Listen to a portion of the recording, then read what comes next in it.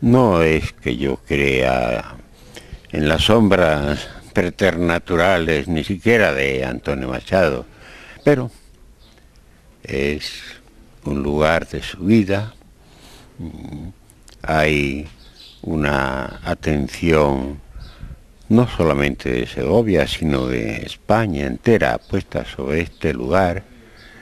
Y mm, el estar de manera activa tratando de sacar de mí en el modesto grado que puedo poesía, pues sí, me, me sobrecoge un poquillo, no tanto como para perder la tranquilidad, pero sí un poco.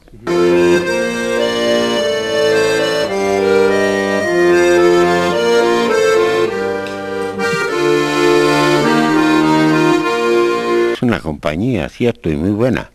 Eh, lo que ocurre que no va a ser, por decirlo así, un fondo, sino más bien un diálogo entre poesía y música.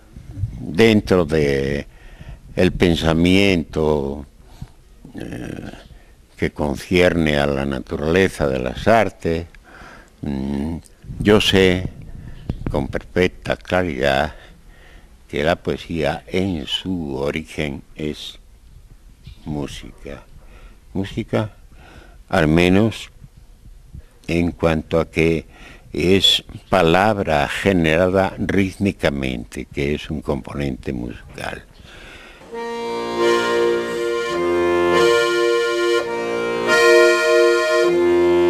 En una jornada de poesía y música en la casa de Machado ya es absolutamente increíble, ¿no? Y luego estar acompañado, acompañando a Antonio Gamonera ya es de, uno de los, de los mayores privilegios que hay, ¿no? Para mí es algo excepcional, desde luego.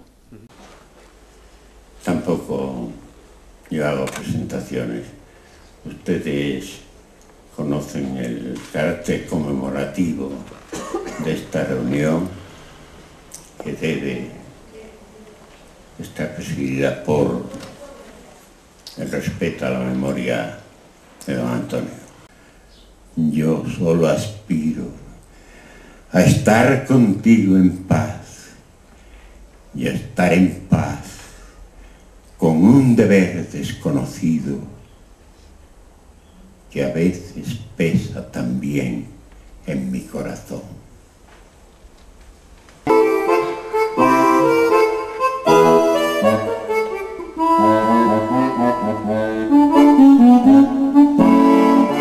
Después de siete años en los que apenas pude hacer nada, porque fueron malgastados en viajes por el mundo entero, y ahora me arrepiento, pero claro, el arrepentimiento es algo perfectamente inútil en estos casos, por lo menos.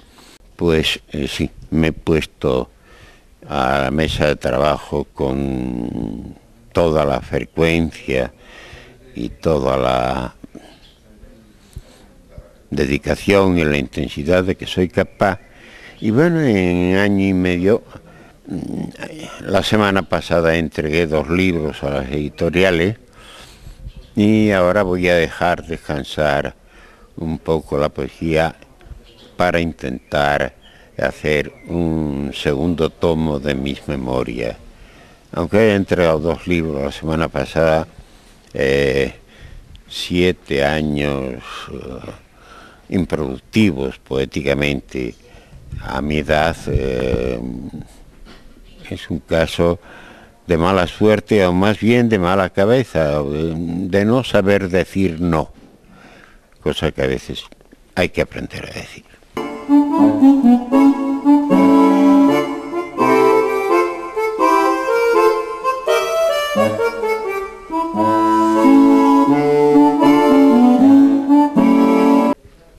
Eres como una flor ante el abismo.